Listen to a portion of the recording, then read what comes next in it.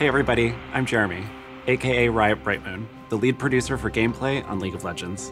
I'm thrilled to welcome each and every one of you to the start of season 2020. With the celebration of League's 10 year anniversary now a few months behind us, it's time to talk about the current state of the game and where we're going next. We have big plans for 2020, the start of our second decade of League, so let's get into it. This year's seasonal update, Rise of the Elements, has been live for a little over a month now, and has brought all new game states with elemental rifts. Our goal for Rise of the Elements was to make Summoner's Rift feel more alive and give more unique environments to play around. Every game of SR should be memorable, and now there's more opportunities to see something really special in each game. We've been making balance changes over the past month and tweaking the power of the Dragon Souls, we think we've landed in a place where there's multiple strategies to winning, but we're keeping a close eye on the power of every objective. Today marks the start of the 2020 ranked season. While we've made some adjustments to ranked over the course of 2019, we wanted to keep things stable for season start. So the beginning of your 2020 climb should look familiar.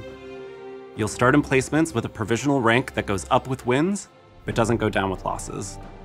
And over the year, you'll progress through three seasonal splits, each granting rewards as you go.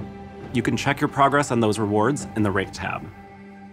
Though we aren't introducing any major changes to the rank system for season start, we've been listening to and absorbing your feedback around ranked and matchmaking.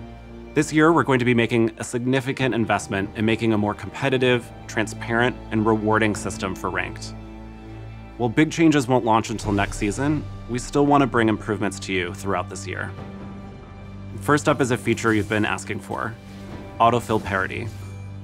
We want to reduce the number of games where one team has multiple autofills and the other doesn't. We'll be sharing an update on this feature later this month. We expect to release it soon, and when we do, we'll have an update on the next feature the team will be working on to make your ranked climb better. Please keep giving us your feedback on what you'd like to see and where we can improve.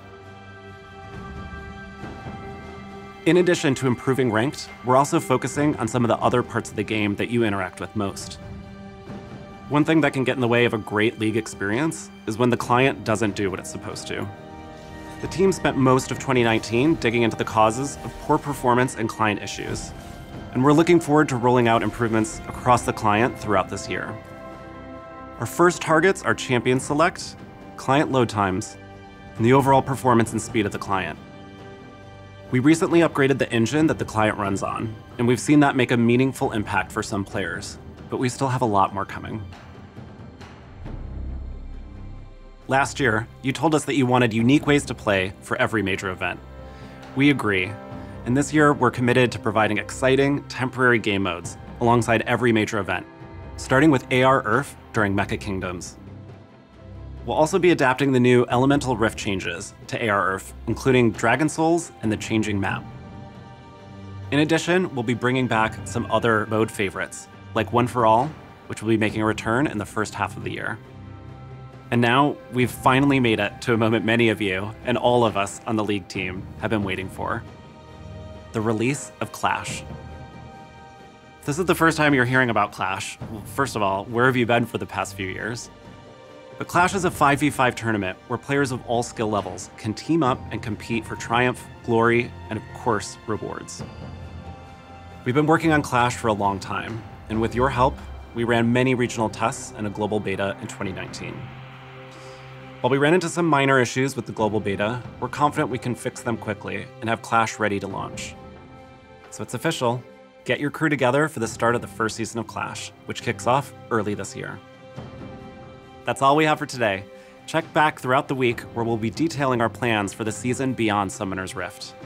Now let's go play some Ranked.